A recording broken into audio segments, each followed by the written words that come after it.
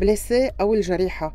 هو عنوان المعرض يلي أقامته ميرنا معلوف بإطار حملتها للتوعية من سرطان الثدي عبر رسم مجسمات نساء اختارت منها الجزء الممتد من الأكتاف حتى الحوض وأخرى بثدي واحد فقط.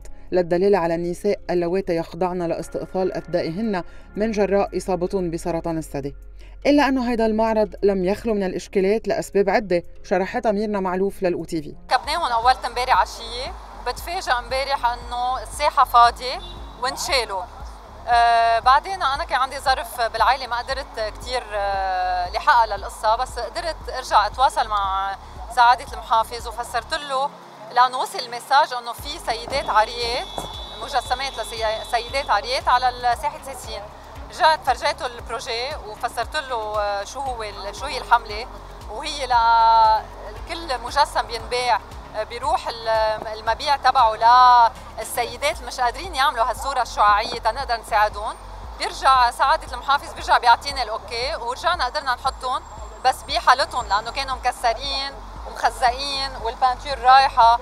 وأنا هذا المعرض اسمه Blessées. يعني finalement حتى بهال représentation artistique تبعهم elles ont été blessées. والرسالة كان المفروض تكفي وتوصل. اليوم برجع بستغرب انه صار في غير. يعني اول شيء بلشنا على أساس نساء نساء عاريات رجعنا صرنا بركي provocation للعذراء. واليوم نعرف انه آه، بيجينا أمر انه شيل ثلاثة ثلاث مجسمات. واذا ما شلتهم رح يتكسروا. ما كنت عم بفهم ليه أول شيء لأنه فكرت انه الثدي هو المحطوط آه، مثل هون مثلا. ما بعرف إذا فينا نشوف.